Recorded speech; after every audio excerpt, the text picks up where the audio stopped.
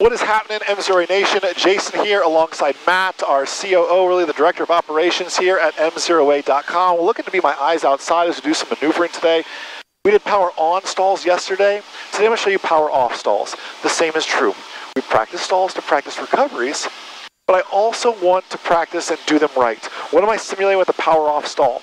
I'm coming into land, life's looking good. I do that dirty word of flare. You guys know I don't like to use the word flare. We flare and we end up stalling the airplane. Let me demonstrate here. We're up here at 4,000 feet. I'm gonna go carb heat, power back, and let me get within my flap arc here really quick. Under 110, I can go my first 10 degrees of flaps. And the rest I need to be within my white arc, and I just entered into my white arc. I'm dumping in all my flaps now. You can baby them in if you want. Now I need to pitch like I'm really coming in here on final. I got full flaps in. I'm holding 70 just like I really would be. Let's say the ground is 3,800 feet. I'm passing to 3,900 feet now.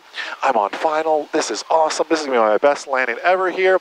Here comes 3,800 feet. I go power back. I flare because here comes the runway. Back, back, back, back, back. We're going to take this to a full break.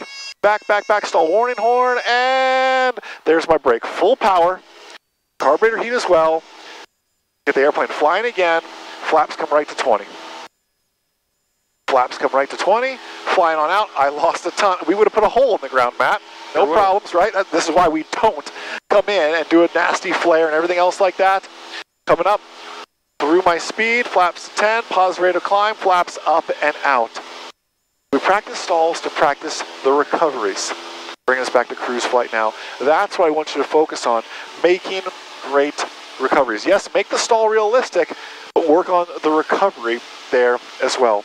Listen, if you haven't checked out our new courses, our new learning management system, m0atrial.com. Also, if you haven't pre-ordered your copy of Aviation Mastery, the book, aviationmastery.com, something from student pilots up to airline pilots, you can be learning in there. So, MzeroA Nation, you are such a blessing to us. If there's anything we can do, let us know in the comment section below. We are here to serve you.